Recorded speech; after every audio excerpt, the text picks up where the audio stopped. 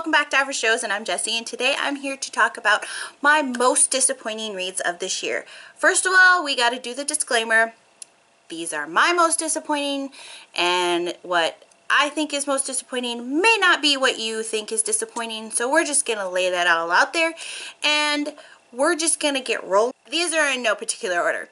Now, the first one I want to talk about is A Touch of Gold by Anne Sullivan.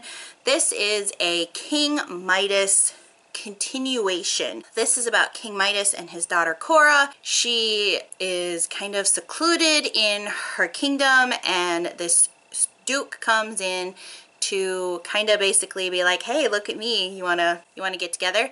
Uh, he's basically courting her and she is all for it. She's like, oh my god, this guy's great He's too good to be true. We're gonna do this and it's gonna be fantastic. Like I said, it was too good to be true like it always is and it was flat in your face, too good to be true. That was one of the things I was like, mm, that's one of the reasons why I don't gravitate towards YA anymore. I'm trying to move away from it. The other reason is certain things at the end just wrapped up very, very quickly and it was too easy. I know there's a second book in this series, but I will not be continuing on with this.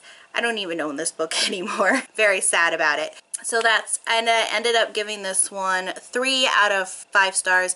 The reason it got a three and not a two is because I really enjoyed the writing, but I wish that certain things would have been fleshed out a little bit more, changed a little bit more. So ultimately it was a like middle of the road three, but I was really looking forward to this book and so that's why it's a disappointing book. The second one I'm going to talk about is City of Girls by Elizabeth Gilbert.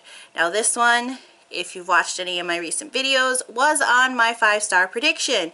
And I thought I was going to love this book. I love books set around theaters and this one is about a girl who moves to New York to live with her aunt. And I thought, great, it's, you know, an adult book, fiction, it's set in New York. It's set in a theater. And I was like, yes, this is going to be great. Nope. I didn't care.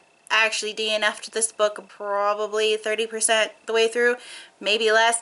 I didn't care. I wanted to care about these characters, but I just could not push myself through anymore.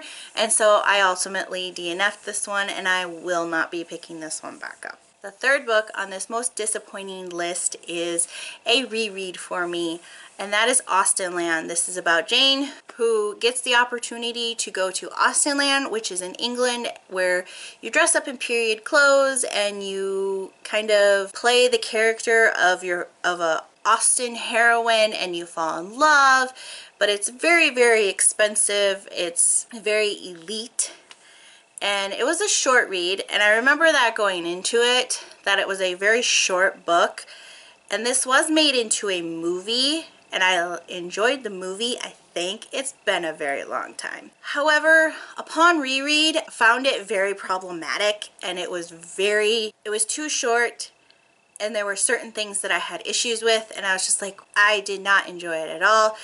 I did give it a three star, but that was simply for semi-nostalgic reasons and the other was for because it's about Austen, Jane Austen and I just the more you think about it the more it's like well was it really a three star or was it a two star I try not to be too harsh so that was the reason why Austenland by Shannon Hale was a three uh, disappointing read now the next one was a very disappointing read for me that is The Princess Bride by William Gold Goldman. I DNF'd this one.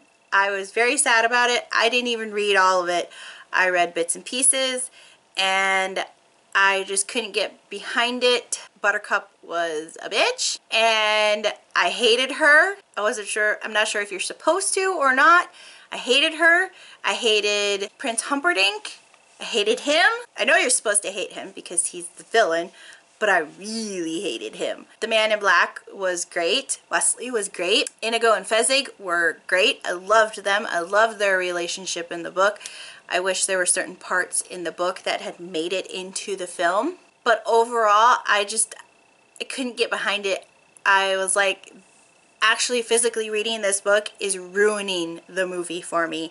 And so I just had to stop at some point because I'm like, I love the movie so much that I just couldn't anymore. So this was such a disappointing read for me. I was so sad about it. If you don't know the story of Princess Bride, it's got action, it's got love, it's got pirates, and if you don't know Princess Bride, go watch the movie. You'll love it, and that's all I'm going to say on that subject. Number five on this list is Home Before Dark by Riley Sager.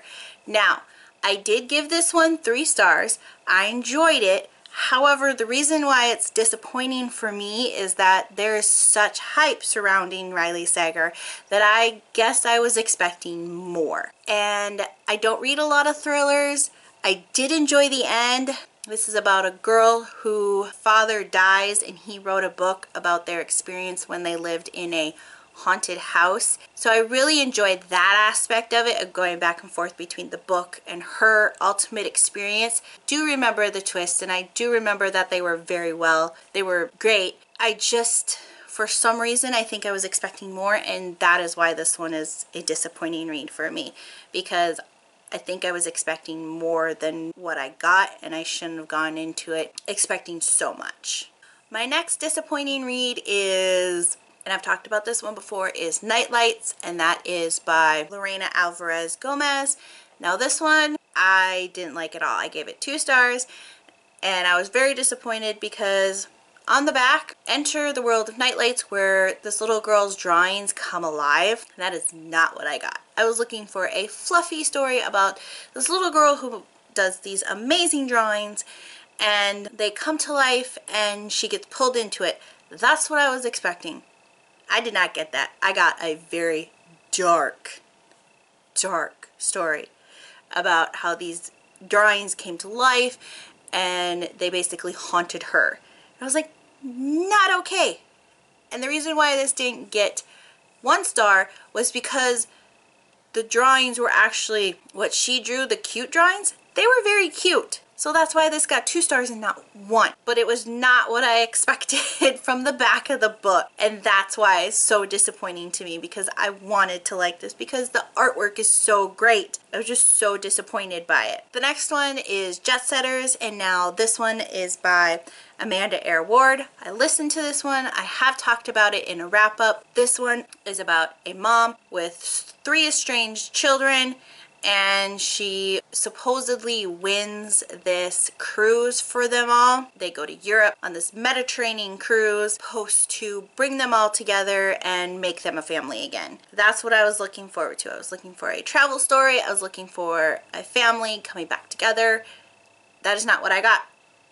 I got a very choppy story with mystery and just, it was all over the place. This book was all over the place you were with one character for, you know, maybe a page, and then you were with another character and nothing really got wrapped up. It was just all over the place, and, I, and that's one of the reasons why I didn't like it, is because we were all over the place, and it was so chaotic that I was like, what in the world is going on? So this one got two stars for me, and I read it for Becca's Bookopoly, which was the lowest rated, and this one has an average 3.5 on Goodreads, and I gave it a two star and I completely understand. My next most disappointing read was 13 by Stephen Cavanagh. Now this one I gave a two star and I have talked about this one most recently. This one I read in October for our book club and I was really disappointed in this book. This one is about a lawyer who takes on this very high public, highly publicized case. It's a murder case and what you know from the very beginning is that the serial, the killer is on the jury and not on trial. This one was very choppy and that's why I didn't like it. I also didn't really, I thought we could have had more from the serial killer's perspective and I just didn't really enjoy it all that much. I didn't like this one. This one wasn't as chaotic as Jetsetters, but this one was very all over the place. I did semi-enjoy it, but I really, I think I'm, I gave this one two stars. Uh, the average rating is four. So I really hated this book. I didn't like the turns that it, I just didn't really enjoy this book. I don't want to talk about this book anymore. If you want to hear more thoughts, go to my October wrap-up. Book number nine is Windfall, and this is by Jennifer E. Smith. I have read a uh, Jennifer E. Smith in the past. This is a YA contemporary book. This is about Alice, who doesn't believe in luck, and she buys a lottery ticket for her best friend who she secretly loves and gives it to him for his 18th birthday. Now this one, if you're new to my channel, this one I read for Friends Season 1, Episode 3, where Phoebe finds the one with the thumb and Phoebe get gets an amount of money. I didn't make it 20 pages into this book before I DNF'd it. And the reason I DNF'd it is because it was so predictable. I was 20 pages in and I could tell you exactly how this book was going to end. And I wasn't about to spend almost 300 pages going through this book back and forth with this girl try, trying to tell her best friend that she loves him and the card went underneath the fridge where she wrote that she likes him. I couldn't do it. I couldn't. I just... I could not spend 300 pages my bad. It's 416 pages. I couldn't spend 400 pages going through that, and I was not about to put myself through that. So I DNF'd this book at 20 pages. I think that is my most disappointing read because I wanted to read it for my friends thing, but I just, I couldn't. The last one I'm going to talk about, and this one was kind of like Princess Bride, where it almost broke my heart, and this is The Duff by Kody Keplinger. Now, this one is the designated fat friend, designated ugly fat friend. I really, really enjoyed the movie, so that's why I wanted to read the book. However, the book is completely different from the movie. I did enjoy the book for the most part, but there were certain aspects about the book that I liked better than the movie and there were certain aspects, there was more aspects that I liked about the movie than I liked about the book. This one is about Bianca and she is a very loyal friend. She hangs out with her two best friends and she ends up talking to the resident hottie Wesley and he calls her the Duff which he explains to her is the designated ugly fat friend and she is that to her other two friends supposedly according to Wesley. She goes down this spiral and her and Wesley have this thing which I kind of enjoyed, but overall this one was really disappointing for me. I was looking forward to this because I had Kody Keplinger's other book, That's Not What Happened, five stars, and so I was looking forward to reading this one and enjoying this one, but I just didn't. I couldn't, and I can't explain it. Anyways, so that is my 2020 most disappointing books. There are 10 of them. I have one unhonorable mention, and that is Night Film by Marisha Pessl. Really wanted to enjoy this. Did not. And so I'm going to wrap this one up really, really quickly. Don't forget to like and subscribe because my battery light is flashing at me. And check out the description below where you can find anything and everything all Average Joe's. And I'll see you in the next one.